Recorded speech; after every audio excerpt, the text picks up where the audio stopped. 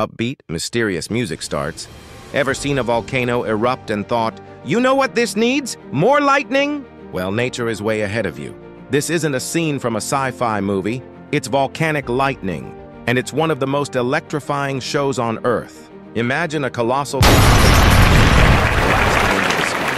Inside this chaotic mess, tiny ash particles, rock fragments, and ice crystals are all rubbing against each other, creating a massive amount of static electricity. It's like shuffling your feet on a carpet, but on a planetary scale.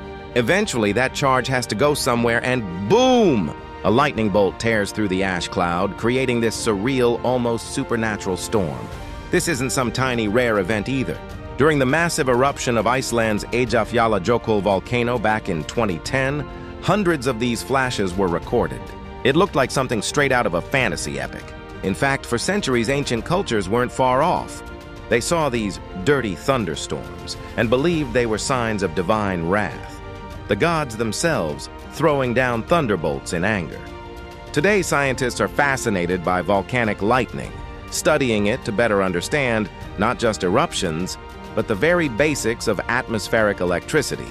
It's a stunning reminder that our planet is way more powerful and way cooler than we can even imagine.